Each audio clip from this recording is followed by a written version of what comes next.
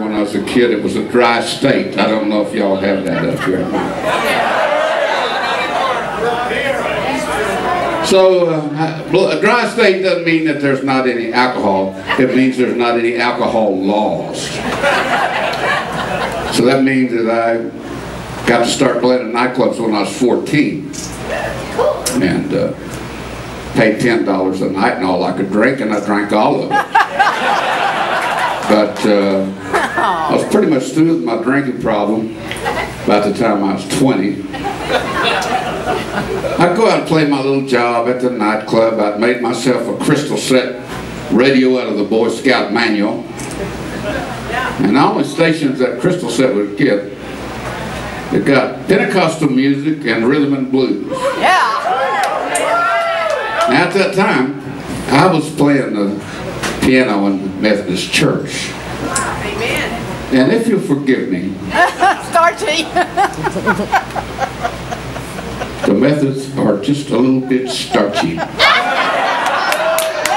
So I started playing some of the Pentecostal music in the Methodist church and they run me off.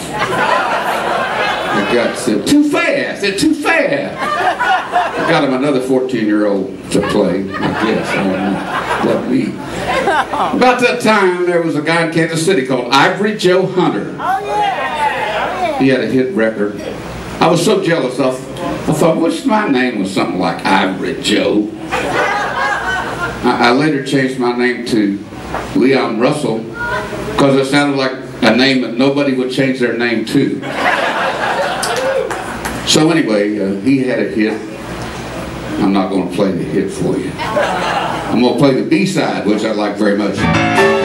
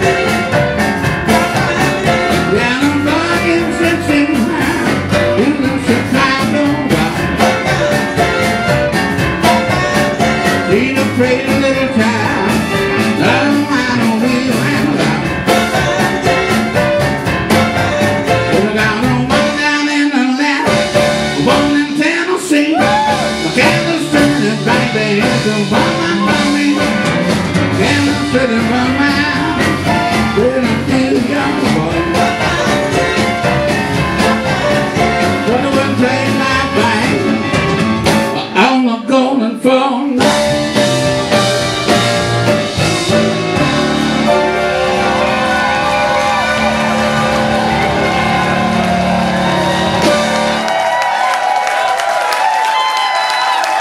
Thank you.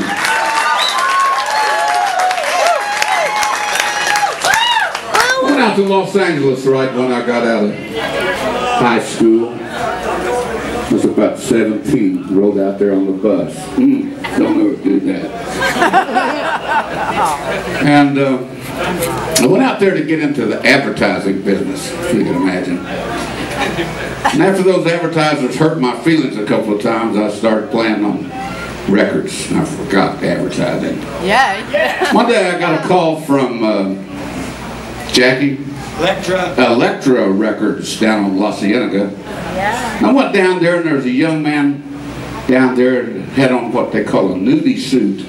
Nudie the rodeo tailor. He had cacti and covered wagons, horses, horseshoes, rhinestones, and etc.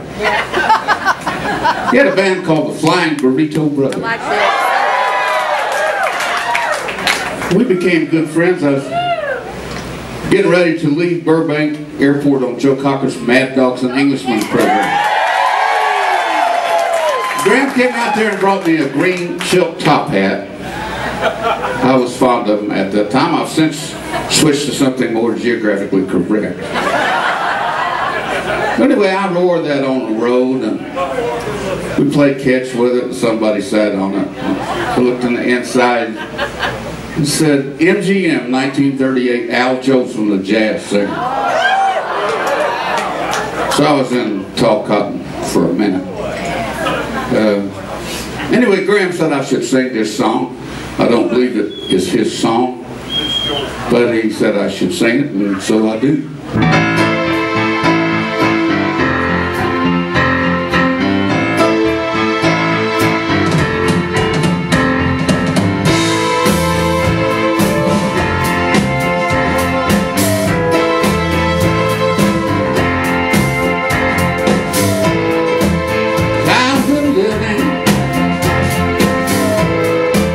Feeding the